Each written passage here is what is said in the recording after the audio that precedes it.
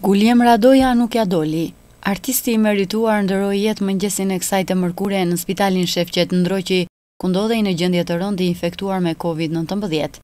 Aktori i cili ishte infektuar me Covid nëntëmbëdhjetë prej më shumë se një muaji fillimisht ndodhej i shtruar në reanimacionin e spitalit të Durrësit, por sëmundja i shkaktoi pasoja të rënda dhe ditën e martë u transportua drejt Tiranës ku dhe u intubua.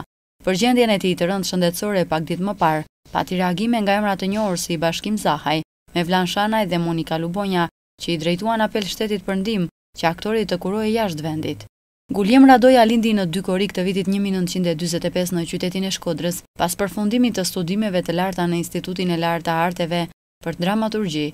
Në vitin një mijë e nëntëqind e shtatëdhjetë e dy filloi punën si aktor profesionist në Teatrin e Librazhdit.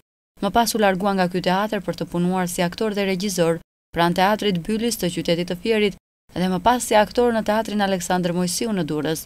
Në kinematografi ai ka luajtur më shumë se tridhjetë role. Roli i tij i parë ishte ai i inxhinierit të pyjeve në filmin Gjurma në vitin një mijë e nëntëqind e shtatëdhjetë. Për meritat e tij artistike Guljem Radoja është nderuar me titullin Artist i Merituar.